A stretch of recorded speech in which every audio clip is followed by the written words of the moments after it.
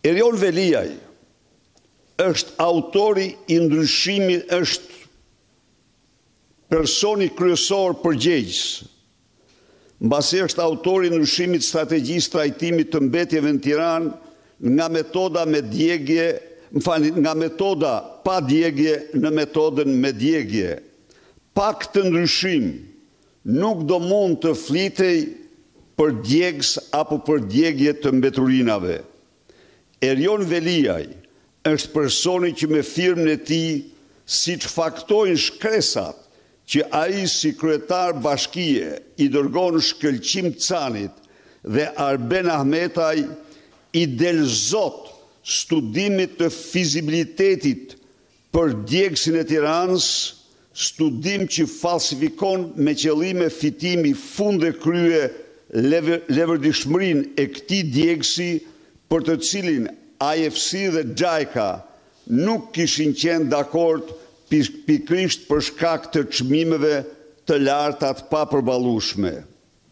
Tre, Erion Veliaj duke fallsifikuar mbledhjen e Këshillit Bashkiak të Tiranës, ka dhanë garanci me firmën e tij pa mbledhur këshillin për pagesën nantë e dy milion euro nga kjo bashki për djegësin e Tiranës çka do të thotë ai është patron i pakundërshtueshëm, por dhe një mashtrues publik dhe fallsifikator i aferës së djegësit të Tiranës.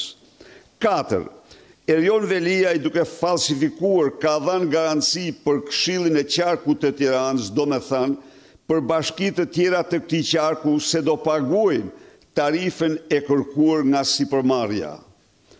Pesë, Erion Veliaj ka patur në KVO dy përfaqësues të cilët me guxim kanë deklaruar se Bashkia e Tiranës nuk ka mundësi financiare të paguajë tarifat e djegies së mbetjeve, të dy ata sot janë në burgje, janë në burg Kurse Veliaj që ka mashtruar për mbledhjen e Këshillit Bashkiak dhe të Qarkut të Tiranës është i lirë dhe s'ka asnjë lloj problemi me drejtësinë. Erion Veliaj ka bërë presion vetë dhe me velicën ndaj anëtarëve të KVO-së për dhanien e bonusit prej tetë pikësh kompanisë së tij. Erion Veliaj ka firmosur vetë faqe për faqe kontratën e djegësit të Tiranës, djegës i cili pas shtatë vitesh, gjashtë vitesh nuk ekziston. Erion Veliaj ka firmosur vetë të gjitha përgjigjet e letrave të Damian Gjiknurit dhe Belinda Ballukut mbi përgjegjësinë e tij direkte për mbikëqyrjen e punimeve të në djegësin e Tiranës i cili nuk ekziston. Nam. Erion Veliaj është përgjegjës direkt nga për pushtimin me dhera të më se njëqind e pesëdhjetë mijë metër katrorë pa asnjë lloj shpronësimi nga askush të djegësit të Tiranës, Erion Veliaj,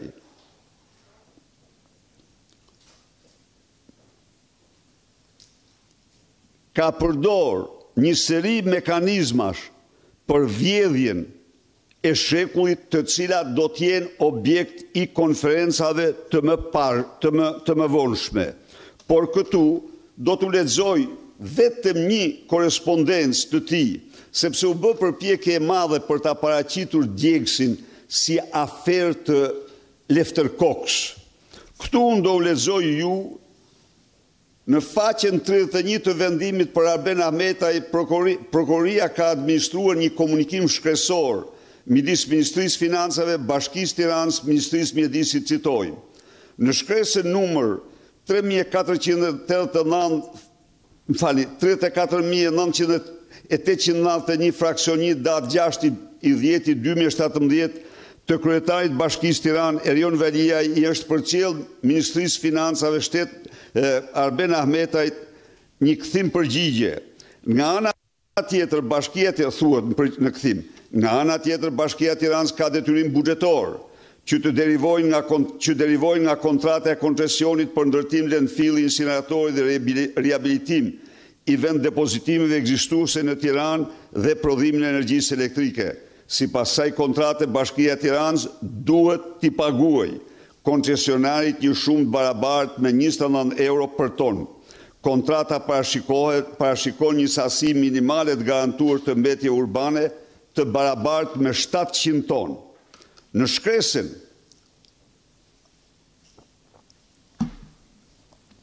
Numër dyqind e nëntëdhjetë e dy fraksion një datë trembëdhjetë i dhjetit dy mijë e shtatëmbëdhjetë Ministria e Turizmit dhe Mjedisit i përcjell informacion Ministrisë së Financave. Nga përmbajtja e kësaj kontrate rezulton se në asnjë dispozitë të saj nuk është përcaktuar që Ministria e Mjedisit të ketë marrë përsipër vetë pagesën e ndonjë tarife apo detyrimi financiar ndaj koncesionarit, por ajo që rezulton është se janë njësitë e qeverisjes vendore të qarkut Tiranë që duhet të paguajnë koncesionarin duhet t'i paguajnë koncesionarit pagesën për depozitimin e mbetjeve. Këtë informacion Arben Ahmetaj ia përcjell Erion Velisë ku i shkruan Pra, nga sa më sipër, është e nevojshme të sqarohet nga Bashkia e Tiranës përse në informacionin e dërguar rezulton se një pjesë e pagesave për vitet dy mijë e tetëmbëdhjetë, dy mijë e nëntëmbëdhjetë, dy mijë e njëzet duhet të paguhen nga Ministria e Mjedisit, ndërkohë që kontra, që në kontratën e koncesionit nuk rezulton asnjë angazhim financiar në emër të kësaj ministrie. Pra, çdo gjë fakton se Djegësi i Tiranës është djegësi Veliaj. Natyrisht nuk ndodhte kurrë pa firmën, bonusin e Edi Ramës. Pra është djegësi Rama Veliaj. Së fundi Erion Veliaj që mram ka kaluar nga studio në studio me presione të tmerrshme ndaj mediave, sipas disa burimeve po bën gati valixhet t'ia mbathë. Ndaj dhe unë u bëj thirrje vendeve partnere dhe vendeve të tjera të refuzojnë çdo kërkesë për azil politik të këtij megahajduti në vjedhjen më të madhe të shqiptarëve apo vjedhjen e shekullit. Faleminderit.